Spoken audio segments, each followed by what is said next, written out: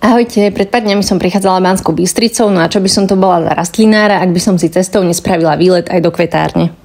Tí, čo kvetáre nepoznáte, ide o obchod s rastlinami, rastlinnú dielňu, ktorá je spojená s ich projektom Kvetulo, kde si viete rastliny adoptovať alebo k ním viete odniesť tie vaše nechcené. Kvetáreň sa nachádza v historickom centre Bystrice v krásnych priestoroch na poschodí. Viete ich navštíviť takto osobne ako ja, alebo fungujú aj ako e-shop a rastlinku vám dovezú až domov.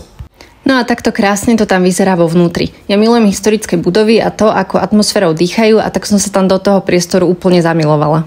No, ale k tým rastlinám. Nachádzajú sa tam rôzne bežné i raritnejšie rastlinné kúsky, kvetináče, growlampy, hnojivá, doplnky pre rastliny, no ale aj pre vás. To, čo chcete, tam určite majú a to, čo nemajú, vám zoženú. Odporúčam ich navštíviť vtedy, keď sa nikam neponáhľate, pretože my sme tam plánovali stráviť chvíľku a nakoniec toho bola viac ako hodina.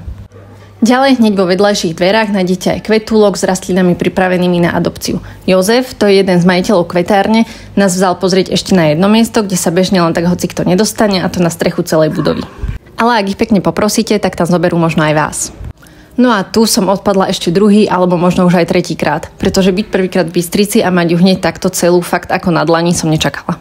Pôvodne som chcela prísť naozaj len pozrieť a kvetáreň spoznať aj osobne, no ale keď už som tam bola, nedalo mi to si niečo aj neodniesť. A to, čo to bolo, uvidíte v ďalšom videu.